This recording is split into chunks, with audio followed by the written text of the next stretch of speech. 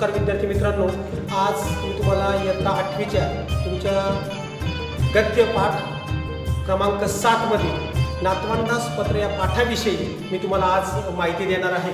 त्या पाठाचं नाव आहे नातवंडास पत्र आणि लेखक आहे नंदू नाटेकर. एकोणीसशे तेहतीस साली त्यांचा जन्म झालेला आहे आणि त्यांनी अनेक पुस्तके लिहिलेले आहेत. परंतु खास असं वैशिष्ट्य या पाठाचं असं आहे की जे लेखक आहेत त्यांना नंदू नाटेकर या नावाने ओळखलं जातं. तर ते राष्ट्रीय आणि आंतरराष्ट्रीय पातळीवरील बॅडमिंटन खेळाडू आहेत.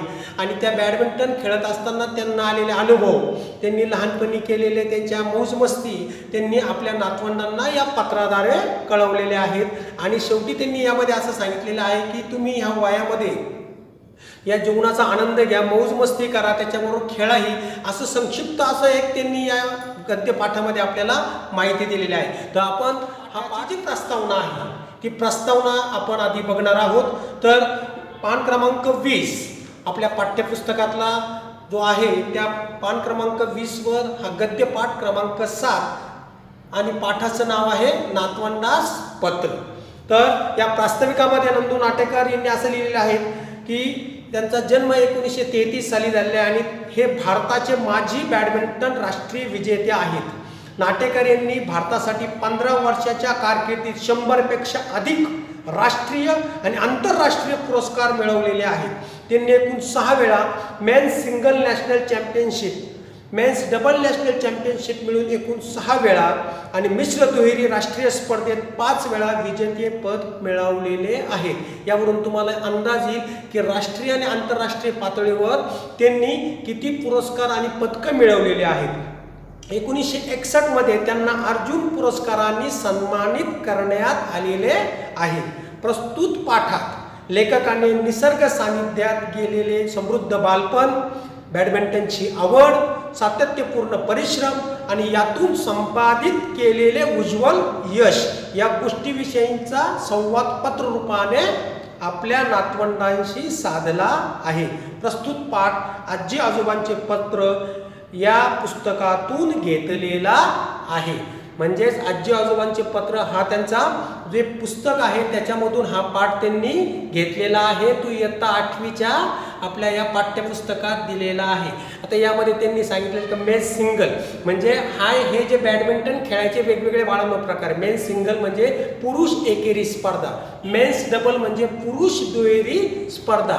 आणि मिक्स डबल म्हणजे एक पुरुष आणि स्त्री एका टीममध्ये असते. एक महिला आणि एक पुरुष एका टीममध्ये असतात. आणि मग त्यांची एक टीम होती त्याला डबल्स मिश्र दुहेरी म्हणजेच मिश्र दुहेरी म्हणजे एक पुरुष आणि एक महिला खेळाडू एका टीममध्ये खेळतात. त्याला मिश्र दुहेरी म्हणतात. मेन्स सिंगल मेन्स डबल आणि मिश्र दुहेरी. असे तीन प्रकारामध्ये बॅडमिंटनच्या स्पर्धा किंवा बॅडमिंटन खेळ खेळला जातो.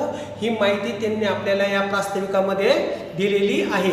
आणि सगळ्यात महत्त्वाचं म्हणजे त्यांना हा खेळ खेळत असताना भारतातला सर्वोच्च जो पुरस्कार आहे क्रीडा विभागातला म्हणजे खेळातला जो अर्जुन पुरस्कार मग आपल्या महाराष्ट्रामध्ये शिवछत्रपती पुरस्कार खेळाडूला दिला जातो द्रोणाचार्य अवॉर्ड हा भारतामध्ये दिला जातो अर्जुन पुरस्कार दिला जातो त्याचप्रमाणे राजीव गांधी खेल पुरस्कार सुद्धा एका चांगल्या खेळाडूंना दिला जातो. आता क्रिकेटचे किंवा बुद्धिबळाचे अनेक खेळाडू आहेत किंवा तिरंदाजीचे आहेत वेट लिफ्टिंगचे आहेत यांना हा पुरस्कार दरवर्षी एकोणतीस ऑगस्ट रोजी म्हणजे त्या दिवशी आपला भारताचा क्रीडा दिन आपण साजरा करत असतो. त्या दिवशी मेजर ध्यानचंद यांचा जन्मदिवस हा आपण भारतात साजरा करतो आणि त्याच त्यांच्या जन्मदिवशी आपण याला क्रीडा दिन भारताचा स्पोर्ट्स डे हा आपण साजरा करत असतो. त्यामुळे एकोणतीस ऑगस्ट रोजी माननीय राष्ट्रपतींच्या हस्ते हे जे तुंग अशी कामगिरी केलेले सगळ्या क्रीडा प्रकारातले खेळाडू आहेत त्यांना हा पुरस्कार दिला जातो. मग त्याच्यात अर्जुन पुरस्कार हा एका उत्कृष्ट खेळाडूला दिला जातो. त्यांनी सलग पाच ते दहा वर्ष आंतरराष्ट्रीय पातळीवर राष्ट्रीय पातळीवर देशाचा नावलौकिक कमवलेला आहे. त्याचप्रमाणे द्रोणाचार्य हा क्रीडा प्रशिक्षकांना दिला जातो. त्यांनी अनेक चांगले खेळाडू भारतासाठी आपल्या देशासाठी तयार केलेले आहेत. मग उदाहरण द्यायचं झालं तर सचिन तेंडुलकरला अर्जुन पुरस्कार मिळालेला आहे. राजीव गांधी खेळ रत्न पुरस्कार मिळालेला आहे. त्याचे जे प्रशिक्षक होते रमाकांत आचरेकर सर त्यांना द्रोणाचार्य पुरस्कार मिळालेला आहे. असे अनेक पुरस्कार हे क्रीडा क्षेत्रामध्ये चांगली कामगिरी केल्यानंतर दिले जातात. त्याच्यातला अर्जुन पुरस्कार आहे तो ह्या नंदू नाटेकर सरांना मिळालेला आहे. त्यामुळं ते एक उच्च कृतीचे खेळाडू होते असे ते सांगतात. मग त्याच्यामध्ये त्यांनी सुरुवातीला काय सांगितलेलं आहे? त्यांचे जे नातवंड आहेत त्यांचं नाव होतं उद्धव मेघा मिहिका आणि जानवी ह्या चौघांबरोबर त्यांना संवाद साधायला संवाद साधायचा आहे आणि तो एकत्र बसून सध्या साधता येत नाही असं त्यांचं म्हणणं आहे. म्हणून पत्ररूपाने त्यांनी त्यांना हा संवाद साधलेला आहे. त्या संवाद साधताना त्या पत्रात त्यांनी त्यांचं बालपण कसं केलं त्यांना बॅडमिंटनची आवड खेळायची आवड कशी लागली मग त्यांच्या मित्रांबरोबर ते कसे मौजमस्ती करायचे मग नंतर त्यांनी पुढे हे सांगितलेलं आहे की आता तुम्ही एकविसाव्या सहस्रकामध्ये म्हणजे एकविसाव्या शतकात आलेले आहात. त्यामुळं आता तुम्हाला वेगवेगळ्या फॅसिलिटीज म्हणजे सुविधा उपलब्ध झालेल्या आहेत. तर या सुविधाचा फायदा तुम्ही तुमच्या आयुष्यात करून घ्या आणि हे आयुष्य आनंदाने आणि स्वच्छंदपणे जगा आणि तुमचं ध्येय साध्य करा असं त्यांनी या पाठामध्ये आपल्या नातवंडांशी चर्चा केलेली आहे पत्राच्या माध्यमातून. मग त्यात ते काय सांगता मी लहानपणी ज्यावेळेस शाळेत जायचो तेव्हा महाराष्ट्रातल्या सांगली या शहरामध्ये म्हणजे आता सध्या ते जिल्ह्याचं ठिकाण आहे. त्या ठिकाणी मी शाळेमध्ये होतो. त्यांच्या शाळेवर प्रचंड असं खूप मोठं मैदान होतं. त्या मैदाना शेजारीच बाग होती. त्या बागेमध्ये त्या मैदानावर ते त्यांचे मित्र मनसोक्त खेळायचे. त्याच्यामधूनच त्यांना बॅडमिंटनची आवड लागली. मग ते पावसाळ्यामध्ये कसे म मौजमस्ती करायचे गिर्यारोहण कसे करायचे गिरीस्थानावर म्हणजे पर्वतांच्या उंच टेकड्यावर कसे जायचे आणि निसर्ग सौंदर्याचा आनंद कसे घ्यायचे असं ते आपल्याला या पाठामध्ये सांगत आहे. म्हणजेच त्यांच्या नातवंडांना पत्रामाध्यमातून ते कळवत आहे. त्याच्यानंतर त्यांनी खेळाचं महत्त्व पुढच्या पॅरेग्राफमध्ये पुढच्या परिच्छेदामध्ये दिलेलं आहे का आयुष्यामध्ये तुम्ही कुठला तरी एक खेळ खेळला पाहिजे. मग त्याच्यामध्ये बॅडमिंटन असेल क्रिकेट असेल घुतुतू म्हणजेच कबड्डी असेल हॉलीबॉल असेल बुद्धिबळ असेल.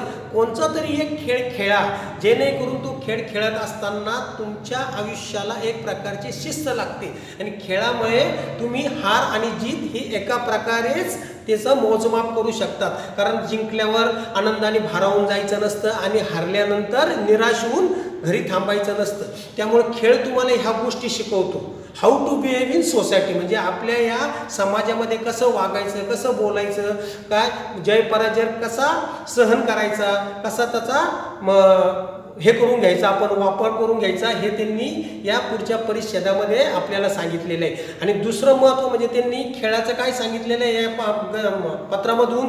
की तुमचं शरीर सुदृढ आणि तंदुरुस्त राहतं. तुम्ही कोणता तरी खेळ खेळल्यानंतर तुमचं जे शरीर आहे त्याला व्यायाम मिळतो. आणि व्यायाम मिळाल्यानंतर तुमचं शरीर हे सुदृढ असतं. त्यामुळं तुम्ही आजारी पडत नाही. त्यामुळे खेळाचा व्यायामाचा किती मोठा फायदा आपल्या जीवनामध्ये आहे असं त्यांनी या पत्रामधून आपल्या नात नातवंडांना सांगितलेलं आहे. आणि ते पुढं काय म्हणतात की प्रत्येक वेळेला आता हे सहस्र सहसर्गामध्ये जग चाललेलं असल्यामुळे प्रत्येक जण म्हणतो मला वेळ नाही पण त्यांनी एक उदाहरण खूप सुंदर दिले त्यामध्ये. ते म्हणतात तुम्ही दोन वेळेला दिवसातून जेवता तेव्हा वेळ मिळतो की नाही? म्हणजेच त्यांचं इनडायरेक्टली सांगणं असं आहे की एखाद्या गोष्टीची आवड असेल तर त्याला सवड ही मिळतेच मिळते. त्यामुळे तुम्ही ह्या खेळाविषयी व्यायामाविषयी आवड निर्माण करा.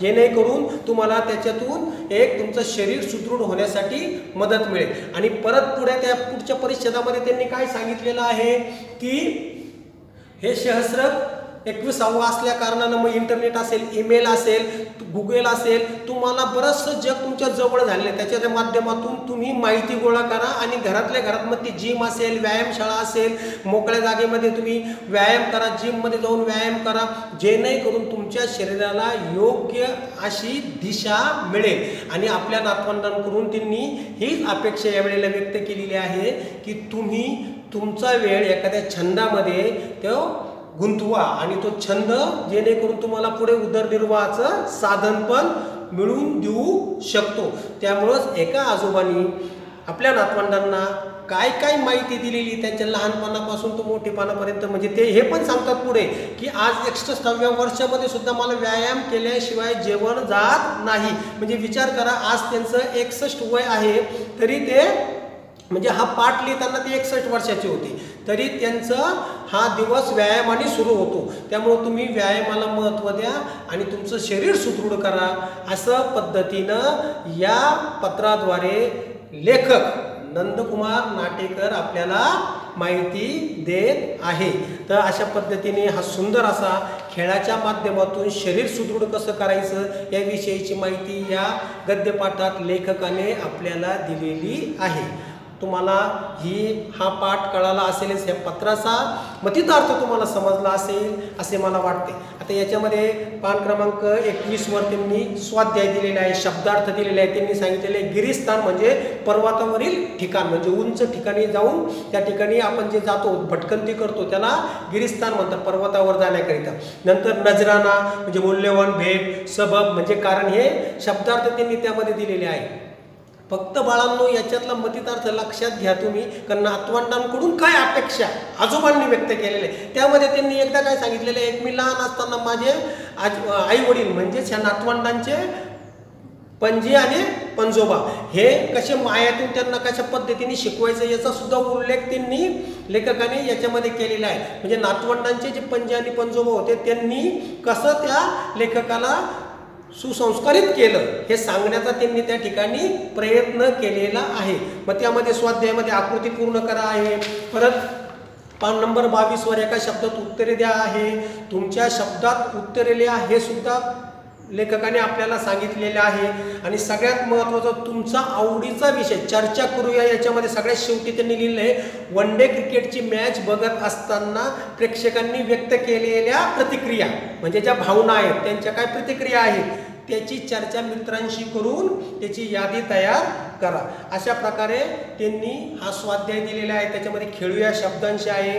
परत खालील वाक्य वाचावं. त्या आधारे तक्ता पूर्ण करा आहे. काय? असा स्वाध्याय तो आहे तो आपल्याला आपल्या होमवर्कच्या वहीमध्ये आणि याच्यामध्ये वर्कबुकमध्ये तो पूर्ण करायचा आहे.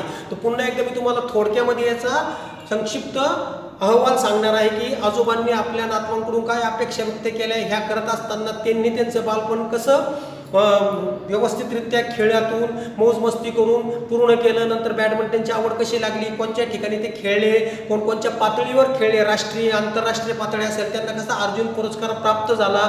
आणि त्यांनी कसं आजही ह्या वयामध्ये ते कसे व्यायाम करतात आणि व्यायाम केल्याशिवाय त्यांना भूकच लागत नाही किंवा जेवणच जात नाही असं त्यांनी सांगितण्याचा मागचा त्यांचा मतितार्थ आहे की आपल्या नातवंडांनी पण असं केलं पाहिजे. तर अशा पद्धतीनं हे नातवाडास जे पत्र आहे या गद्यपाठामध्ये लेखकांनी आपण लहानचे मोठे कसे झालो आपल्याला कोणचा अनुभव मिळाला याबाबत आपल्या नातवंडांना कळवलेला आहे.